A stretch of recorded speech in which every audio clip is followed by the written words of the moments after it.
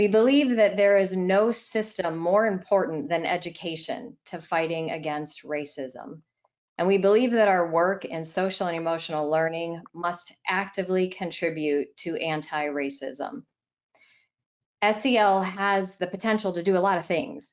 It has the potential to help people move from anger to agency and then to action. Understanding and processing issues of affect, and in today's moment, it's anger. People feel a lot of anger, and rightfully so. And moving that emotion to agency, to speaking truth, to finding and sharing your voice, and ultimately to action, to executing on goals, to having the moral courage to act in the face of challenges, including enormous challenges of racism, irrespective of the color of your skin. These are all really important things that matter. And we see SEL as a tool for anti-racism. We also know that the education system itself needs transformation. It needs to support all children and adults in building on their interests, helping to create positive identities, eliminating biases, strengthening relationships across differences, and co-creating communities where all individuals can thrive. Today, you'll be hearing from my colleagues at CASEL, and these are members of our CASEL leadership team who have been working really hard to learn about the about the intersection of SEL as a lever for equity and the critical role that it can play in helping us to achieve those goals. CASEL's been working for many years to advance the understanding of both the research and the implementation of SEL in service of equity. We are fundamentally a learning organization, and we've prioritized issues of equity in the center of our work for a long time. Rob Jagers, who is our Vice President of Research, and Melissa Schlinger, who is our Vice President of, of Practice, um, will be sharing with you all today some information about the work that we have underway on the research side and on the practice side to help advance this mission. We very much appreciate the opportunity to uh, engage with you, Melissa, in this conversation about the work that we've uh, been doing and really um, offer up some of the content of some of the conversations we've been having over the past couple of years. Thanks, Rob. Um, and I'm looking forward to this as well. This topic has um, been important to the organization and to us in our work for a long time. And I'm looking forward to sharing with the audience about some of that important work. Um, and I thought it would be good to start with um, your work and the research that you've done to advance this information. Um, you wrote a really important paper with Dr. Rivas, De Debbie Rivas Drake and Teresa Borowski. Some of you may remember Dr. Debbie Rivas Drake from last week's webinar. The paper was called Equity in Social and Emotional Learning, a Cultural Analysis. And in that paper, you state that social and emotional learning has the potential to help mitigate the interrelated legacies of racial and class oppression in the US and globally. Um, but you also write that currently that potential is underrealized. So I thought maybe we could just start there and talk a little bit about how you've come to understand SEL through your career of researching this topic um, and this important potential that it has. Thanks. Um, so um, it's important to, I guess, state up front that, um, you know, I've, I'm a long time uh, colleague of Roger Weissberg, who is uh, the founder of CASEL, or one of the founders of CASEL. And he and I worked uh, when I was at UIC in the 90s on a large scale randomized control trial, uh, developing an, uh, an Afrocentric risk prevention program for middle schoolers. And so, um, and since then, we have been colleagues. I've been a friend of CASEL and participated in a number of its work groups and the like. Um, my own basic research, uh, basic and applied research, has really focused though on um, issues of cultural integrity and uh, social political development of young people, especially uh, African American youth. And so it's with a particular in, those um, interests really focus on the and promote the communal aspects of human development.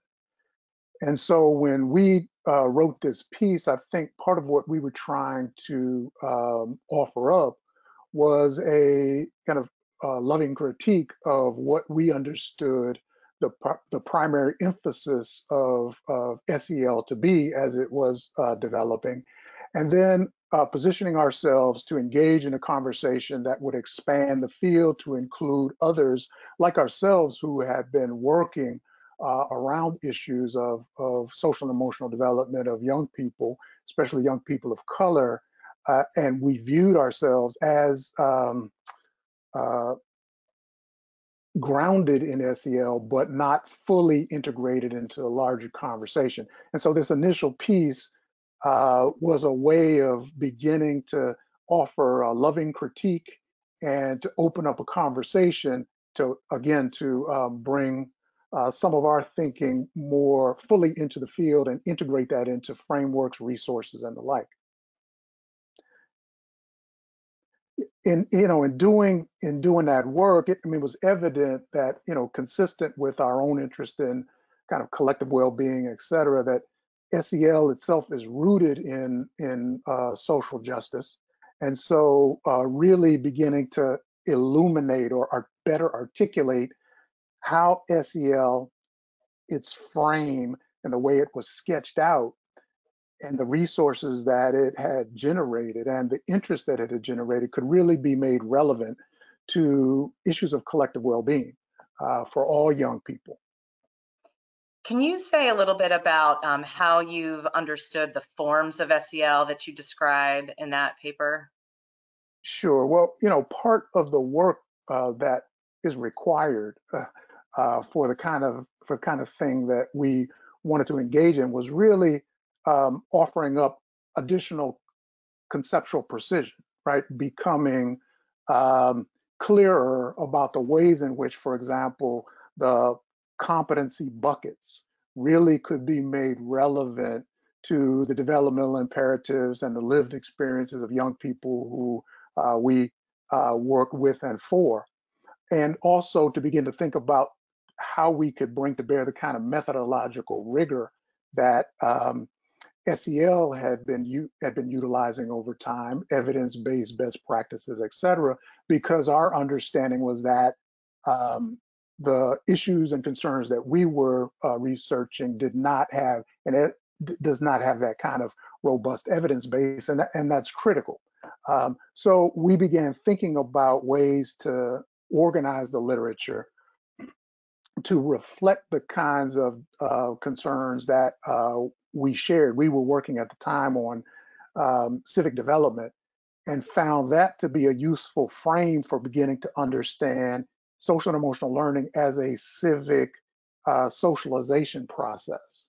Really, because because by definition, it uh, SEL was about the ways in which people in in across contexts interacted with one another. And so for us, that was really, you know, civic development. And um, then because we were immersed in that literature and others, simply brought to bear some of the thinking of other uh, of other colleagues like uh, Joe Kahne and and uh, um, and James Banks, who had been working on notions of citizenship and civic education, and they they had offered up these different types of of uh, uh, civic development to include personally responsible, participatory, and what they call justice-oriented um, uh, citizenship. And so we utilize that frame then to begin to organize SEL literature, and it provided us an opportunity to bring in uh, concepts that were more consistent with justice-oriented or what we have come to talk about as transformative social and emotional learning. Um, so we anchored the work, importantly, anchored the work in the existing CASEL framework.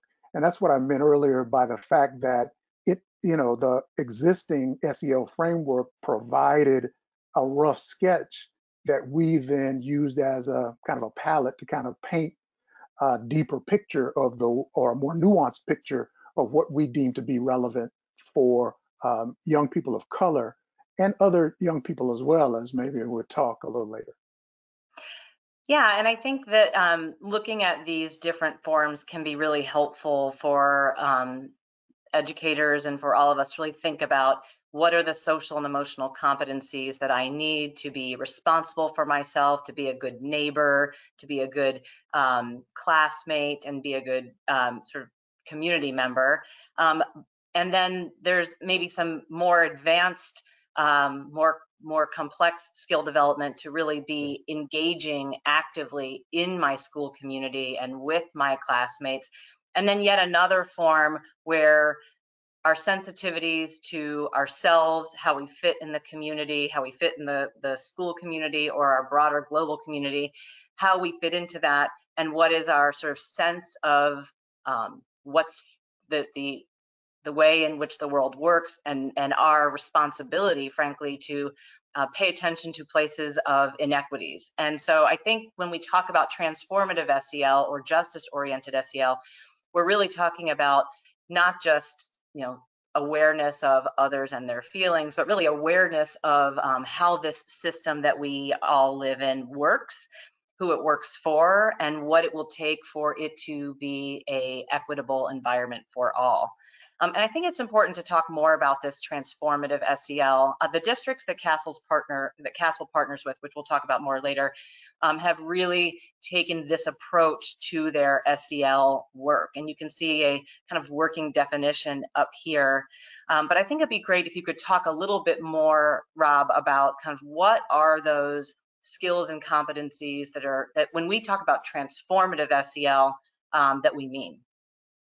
Sure. I, that, so I appreciated your your earlier comments because that you know we in in you know in this work in making SEL more robust for issues of equity, it does move us towards um, uh, embracing both intrapersonal, interpersonal, and institutional kind of competencies and seeing how from a social his social historical as well as contemporary context you know, issues of race, class, culture, gender, et cetera, are actually um, operating both in people's minds, in people's interactions with one another, but also institutionally. And so transformative SEL is really intended to, to um, appreciate that reality because um, while it is um, um, a good thing to appreciate people for who they are, to ignore the fact that they are raced, classed, etc. I know uh, a colorblind or power blind approach ignores the humanity of the people that you're interacting with, right? right. And so transformative SEL simply brings to bear or makes explicit the fact that this is an important is an important feature of how we interact with with each other, but also how our institutions function. And so the degree to which uh, people construct institutions, they should be attentive to the context that we're setting for our interactions with one another. Great. Um, and Emily, if you can bring us to the next slide, um, where you, have sort of given some examples within the CASEL 5 competency framework that so many are familiar with.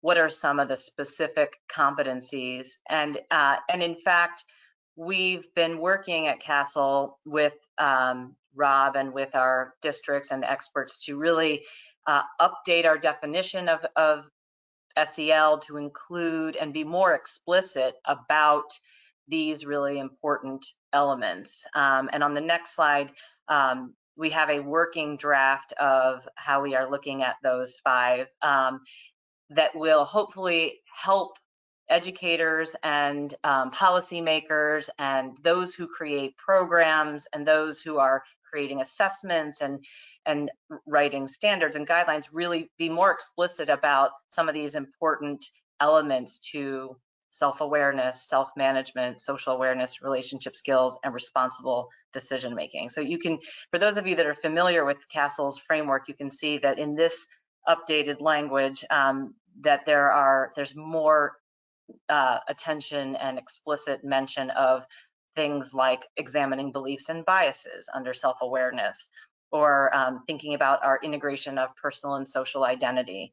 Um, also, if you look at social awareness, you can see, for example, recognizing situational demands and social interdependence. So you'll notice on here that we uh, that we're working to create definitions of these areas so that it's more clear. Um, and I think this is a an opportunity to Rob, to talk about um, where we've seen a limited view of what social and emotional learning is um, and how it may have played out in a way that is detrimental to students if they're not really understanding um, the full way in which we at CASEL understand SEL. So can you talk a little bit about kind of the dangers of a limited view or what we what we've seen?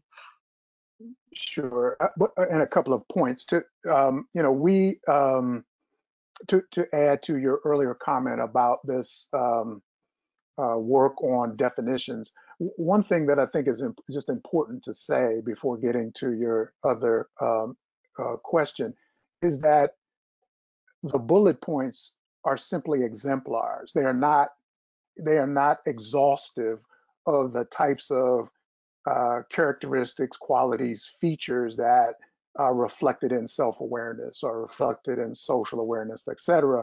And so um, it, in some ways it's an invitation for, these are just, um, again, examples that people can, in their own work, uh, further flesh out, et cetera. We try to offer relatively robust definitions and then some bullet points to reflect some of the developmental and equity facing um, cons considerations that we've been talking about.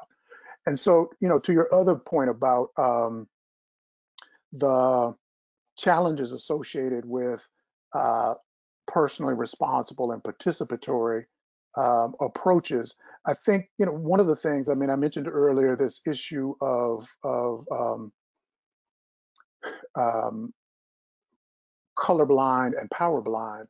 I think in the in the absence of conscious awareness that race and class and gender operate in our interactions, we stand the possibility of being reproductive of the inequities that we are experiencing in our schools, in our communities, in our healthcare systems, et cetera, et cetera. And so only through explicit reckoning with uh, the inequities can we then move to um, toward a more equitable learning environment, both for the young people, but also for the adults as well. Uh, because these things, you know, we had up the bullet points earlier and the and the uh, core competencies. Need to realize that those are developmental in nature, meaning that uh, from uh, cradle through career, people are developing identity of various sorts. Um, sense of belonging of various sorts, agency of various sorts. And so to assume that these things are simply limited to students, I think under uh, undermines the potential for, of, of SEL and similar approaches to actually create the kind of um, uh, schools as institutions, but other learning environments that we know are critically important, um, creating the kinds of spaces where we can look at optimal human development across race, class, and culture. Yes, and I think um, while being more explicit about these things is is so important, um, especially because when um, when you when we've seen schools or districts who have implemented SEL as part of, for example, a behavior management strategy, or to sort of coerce kids to comply with a certain set of rules or norms or um, to be more about um, self-management over you know these other areas which unfortunately happens. And in the name of SEL which which shows a, a misunderstanding even of the complexity of all of the competencies working together and the importance of reflection and understanding of oneself and others not just of our students um, but as you pointed out, also the adults. Um, and in fact, I think it would be great to just talk for a minute about what kind of adult SEL and learning environment is essential to foster transformative SEL competence in young people. Well, well, as you know, uh, Melissa, we um, are really committed to kind of surfacing evidence about, you know, uh, about programs, practices, and approaches. Um, and in some of the work we've done, you know, there's some key features with uh, that that one might look for, and one uh, one of those features is power sharing, meaning um, really positioning young people as experts of their own lived experience and as uh, co-constructors and co-creators of and, and critical consumers of, of information and, and knowledge, right? That that they are uh, they have the capacity, the interest, and the talent to actually fully engage in the learning process, which then leads to them being lifelong learners and having a sense of agency and belonging in the in a school environment a classroom, a school, a community that they have helped to co-construct. They have a different sense of engagement and belonging. So, the, and the other piece that I think is critical, um, like a key cross-cutting feature, is um, anchoring the work on young people's lived experience, right? Making it, making the educational experience relevant to what it is they are experiencing, the both the assets and the challenges that exist in their communities, and helping them to figure out how academic content then helps them address those concerns and build the world that they and we uh, want to see. And so this that anchoring and then scaffolding as young people get older, I think is is, is a critical feature, and that's why you can start with um, you know attention to these competencies when young people are very young, because fairness is a fundamental consideration in uh, transformative SEL, and as and and as young people uh, get older, as as children begin to age, um, they they they begin to understand fairness in different contexts. Issues of identity begin to intersect with that kind of basic understanding of how to treat other people, and then we as as adults help them to scaffold that knowledge and then be, have them become fairer, more humane, more just, etc. Right. And I, am glad you brought that up because um, we got so many great questions from participants as they registered, um, many of whom are really wanting to know how do we create environments and provide um, experiences for our youngest learners um, that can help with this sort of transformative SEL and thinking about race and racism. Um, and I, what you just mentioned about sort of some of these early concepts that underpin this, I think is really important. Um, we are going to get into those questions in much more detail about the actual how in the in the the webinars that will follow this one um, on the actual implementation. But I wonder if you could just share even a couple of um, kind of high level um, either programs or strategies that that we've seen in districts that um, that are focused on transformative SEL, social justice, or creating that sort of shared power that you talked about. Yeah, so um, in our program guide, for example, we point to Facing History and Ourselves. Um, we uh, also point to project-based learning as a way to um, cultivate these these types of skills. Uh, youth participatory action research of various forms is also a way to have a, um, a student-led or student-informed kind of educational experience that you know speaks to those key features that we talked about earlier. Um, you know, some of our colleagues at University of Michigan, for example, are starting that work with uh, pre-K students, so it is possible to begin this work very early and then scaffold um, um, over time. Um, our good colleague Clark McKown uh, and I were just on a call, and he was talking about um, uh, prejudice reduction programs that utilize cooperative learning opportunities and other kinds of uh, group-focused activities um, to help young people develop relationships across difference. So all of these kind of educational um, uh, or SEL approaches and practices, I think um, merit further attention and can be used in in in uh, classrooms across the country.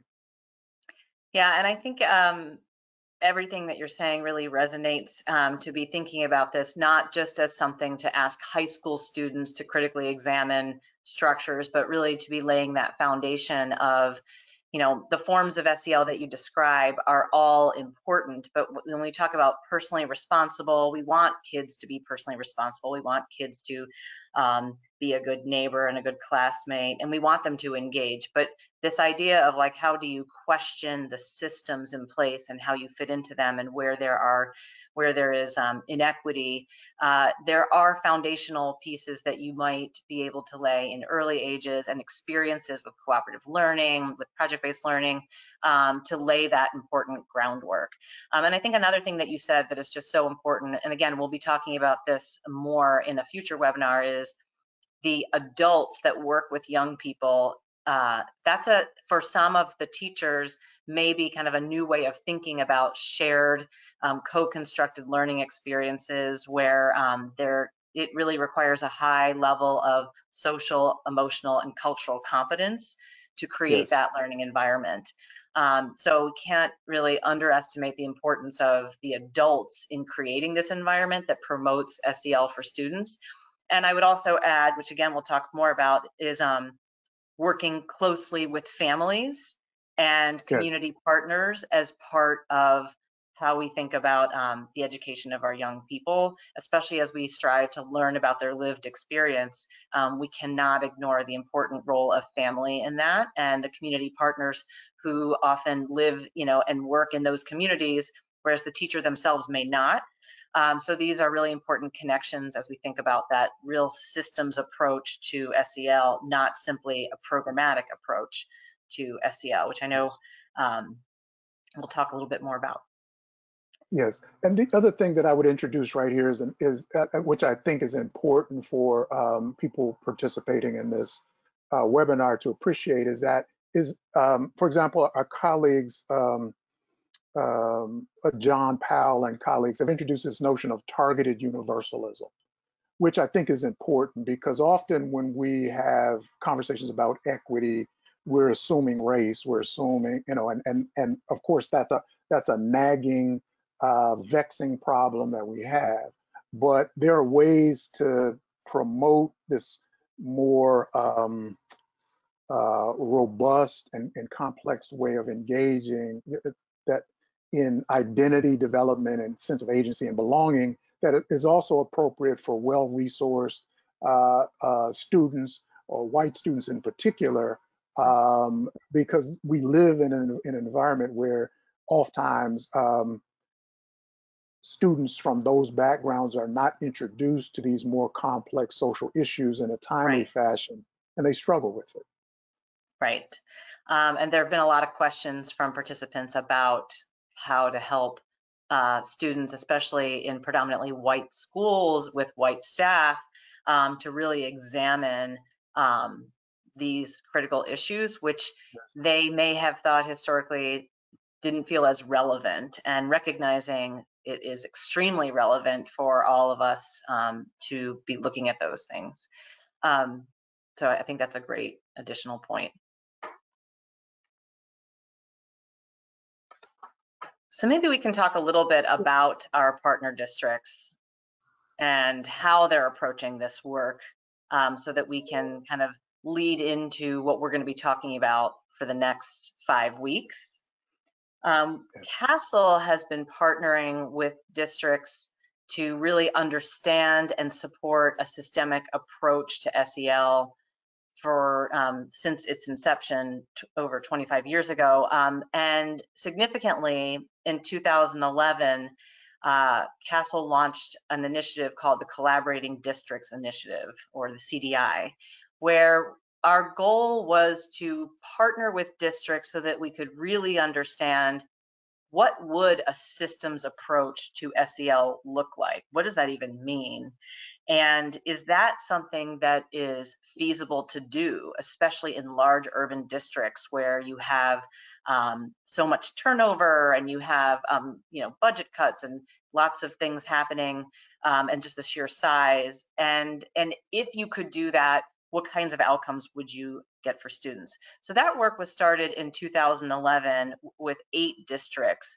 Um, it has since evolved to a, a robust learning community um, that now has 20 districts that are working together to, again, better understand how to take a systems approach to SEL. And one thing that's been really interesting, especially over the last um, five to six years, is that this priority and understanding that their SEL work is a critical part of their equity work um, has really uh, helped CASEL to sharpen our own focus on that issue. Um, and in fact, four years ago, we began convening not just the leads who were over SEL, but also those over the equity work within these districts in what we've called an equity work group. Um, and together, these convenings have helped us to learn from the districts how they're thinking about this work and facilitate cross sharing of information. Um, in the beginning, we saw some districts were way out ahead, um, really in thinking about equity and the role of SEL in achieving equity, and some were just beginning to understand that.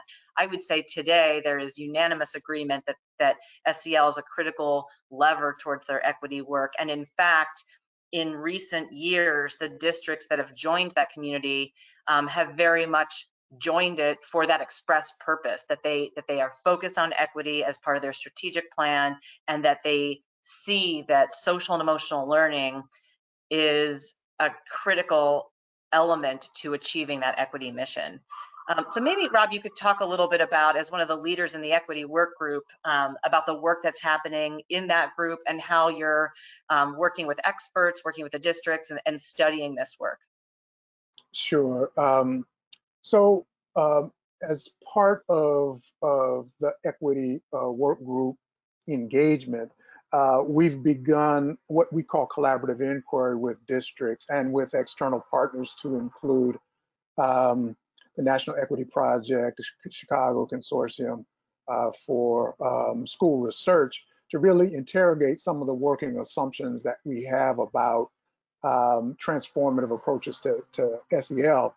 Um, districts like Guilford County, uh, North Carolina, where we've really um, been very much impressed with the ways in which they have um, articulated a vision for uh, how their young people, um, how they, you know, the kind of educational experiences they want for the young people. And we are leaning in, trying to uh, support that work.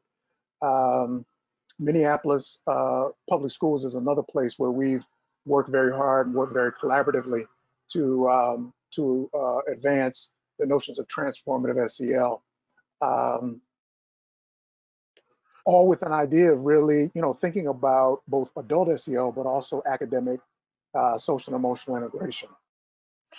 Yes, and you've also uh, just hit on one sort of teaser I'll give the group for next week, we will be hearing directly from Minneapolis Public Schools educators about their longstanding commitment to educational equity and to SEL as a key piece of that, how they've been thinking about and communicating about that, um, which I think will be a very timely discussion. Um, and as we think about the work with these districts, the equity and SEL work has been critical to understanding their systemic implementation. Um, and it's been critical for us at CASEL to really think about how does equity show up in the work um, kind of in a broad way, and also how does it show up, like what are the key elements to that? Um, so Emily, if you could actually pull up the next slide. Some folks on this uh, may be familiar with CASEL's sort of systemic model for thinking about social and emotional learning at the district level.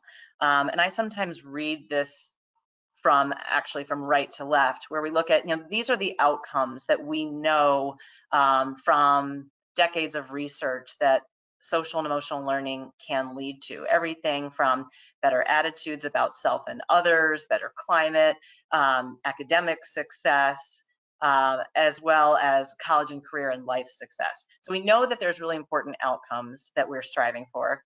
And this, this uh, wheel in the middle really describes kind of the framework that that is familiar to many about how we think about those competencies and how those competencies can be promoted in a systemic way in a school. So not just in the classroom, but the school itself and with families and community partners. So that's kind of how we think about what's happening at the school.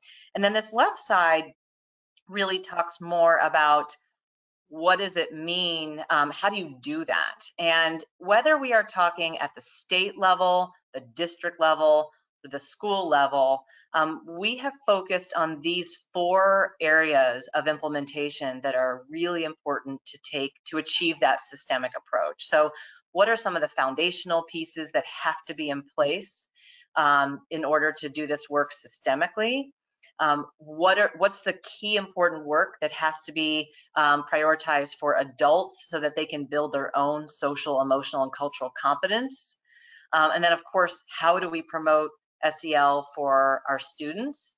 And then lastly, um, how do we know if what we're doing is working and continuously improve the implementation? Uh, so really thinking through this systemic model, the question is sort of like, where does equity show up in this? And, and actually, equity shows up throughout this. Um, we have documented in CASEL's District Resource Center what does it mean to look at this with an equity lens at every level. So you'll see information about what does it mean to create a shared vision? Whose vision is that? Who's at the table for that, for example? Um, so all of that is on CASEL's District Resource Center. Um, but one thing that we've learned from our equity work group and working closely with them is there are actually five key actions that we see across the community of things that our districts who are prioritizing SEL in service of equity are, are doing.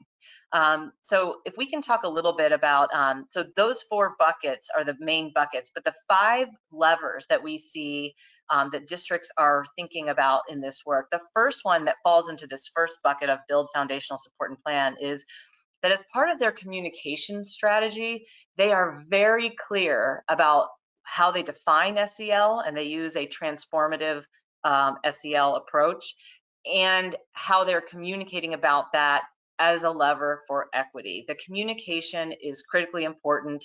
They are very sensitive to the possibility that if not communicated well or explicitly, that um, it may be misinterpreted as, for example, we talked earlier about a behavior intervention or some way to just, you know, control students or, you know, only working with a handful of students. So really explicitly positioning um, what we mean by SEL and how it fits into our equity mission is something that we've seen across the board. And next week, actually, we'll be hearing from Minneapolis Public Schools about that. The second thing that we've seen across the board is there's been a significant priority on the adults and that the adults themselves have to engage in this work. Um, last week in our webinar um, that we had on owning your power to raise kids who challenge racism, um, Dr. Debbie Rivas Drake and um, Bloodine Barthelus both talked about before we help our students, we have to focus on ourselves. Before we help our children as parents, we have to focus on ourselves. Uh, the same is true here. So a lot of our districts are engaging in um, anti-bias work, um, giving opportunities for community building and social emotional learning as part of um, the adult's own experience so that they are better prepared for this. The third one has to do with what it is that we are focusing on when we're promoting a comprehensive view of SEL, and in particular, an emphasis on students' cultural assets, youth voice and agency. Um, everyone agrees that the full gamut of social and emotional competencies are critically important, um, but these pieces in particular are emphasized and sort of in, there's an intentionality to make sure that this is a, a um, front and center of their SEL work. The fourth one, which we alluded to earlier, has to do with um, really partnering authentically with families and communities to make sure that we are um, working together and that we have a culturally responsive approach to SEL. Um, and then lastly, when we think about continuous improvement and data, um, our districts are looking very carefully at the data that they're collecting, how they're collecting it, how they're displaying it, and how that data may actually be surfacing some inequities. So it's a really careful examination of the data so that we are um, able to use that process of continuous improvement, not only to improve our implementation, but also to critically examine what are the policies and practices that we have in place that may be producing inequities and how do we address those. Um, so these are five of the kind of big strategies that districts are thinking about when they think about um, promoting social emotional learning in a systemic approach.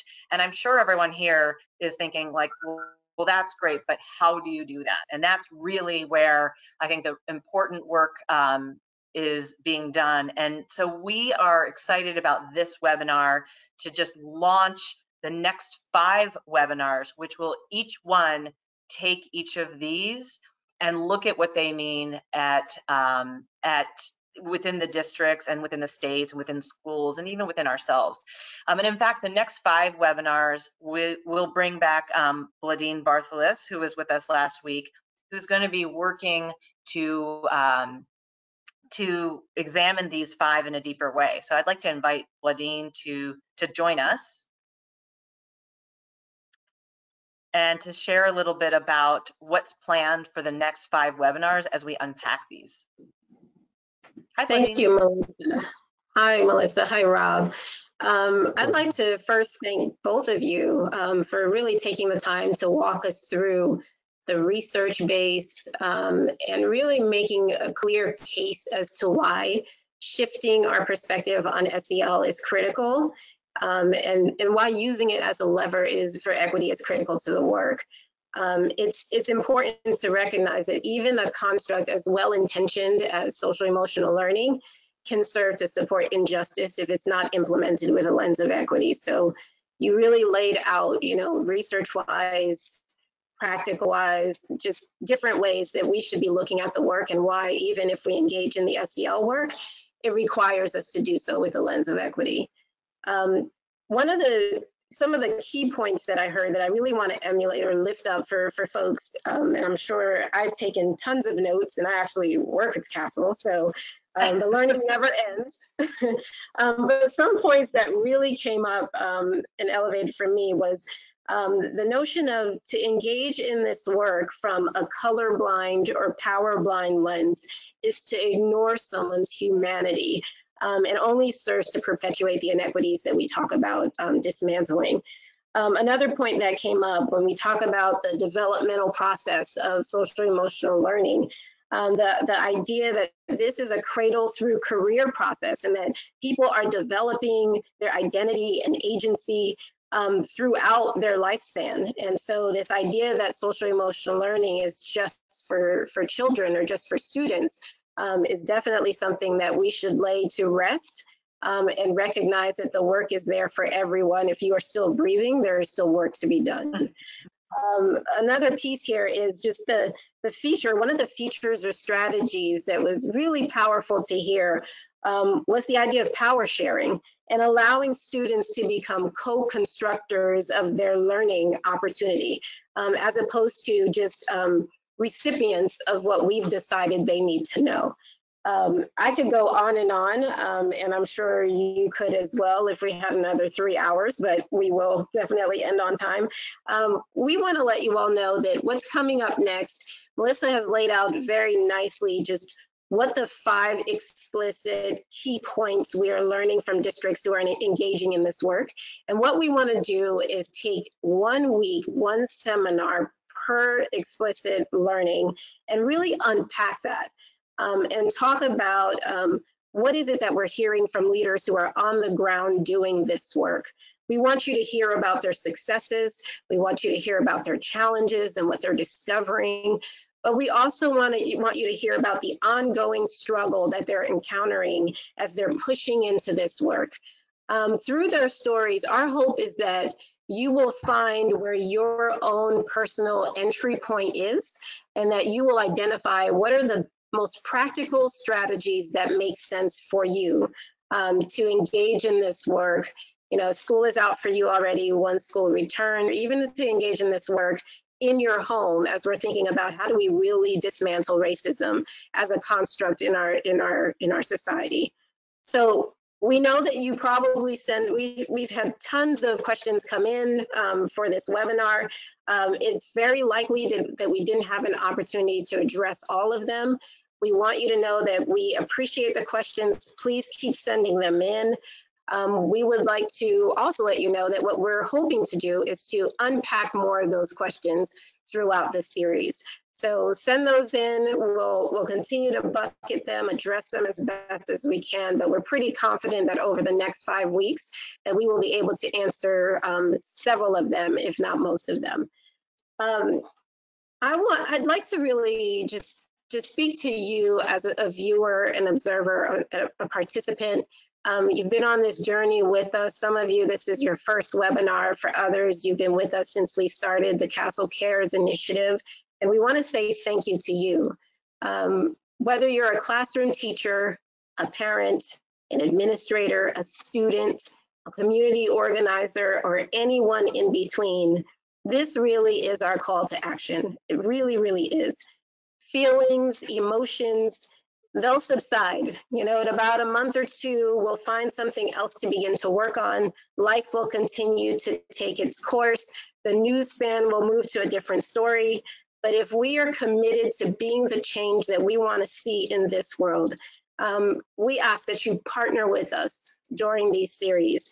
Um, let's develop a community of learning where we're better positioned to do the technical and the adaptive work that's required to really push into this work and to really dismantle what has been constructed against our students and against our society um, in our educational system. Um, so your next step is to register.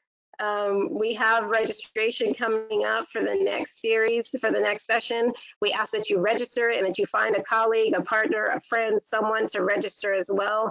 We really want to make sure that you have the strategies, the steps, the tools to do the work that you're excited about doing at this point.